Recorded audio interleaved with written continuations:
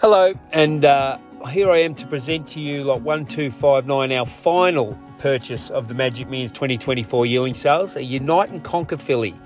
Um, now, Unite and Conquer was a son of Hinchinbrook, a very fast, precocious two year old, but like the Hinchinbrooks, really good, heavy, big, strong horse.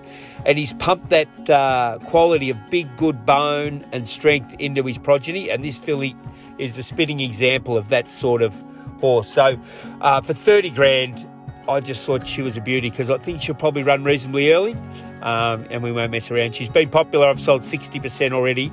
So um, I urge you to either come down, have a look at her, or get involved in a nice, cheap Magic Millions filly. So, um, yeah, normal practice, either email or give me a call. Thanks.